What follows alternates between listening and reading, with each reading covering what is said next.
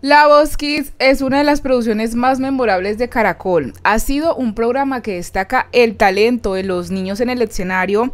A lo largo de sus seis temporadas ha proporcionado una plataforma para jóvenes talentosos que buscan cumplir su sueño de convertirse en grandes cantantes. La emisión de la más reciente temporada del concurso inició el 9 de enero y pese a que estuvo llena de especiales emociones, a muchos televidentes no les agradó quienes conforman el jurado actual.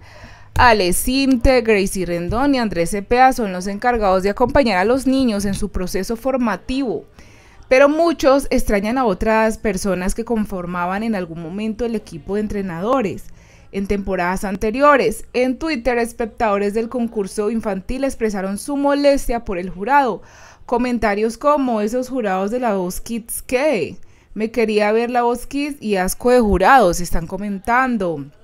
Incluso muchos recordaron los jurados anteriores y pidieron volver a primeras temporadas del concurso a las que hizo Maluma, también Fanny Lu.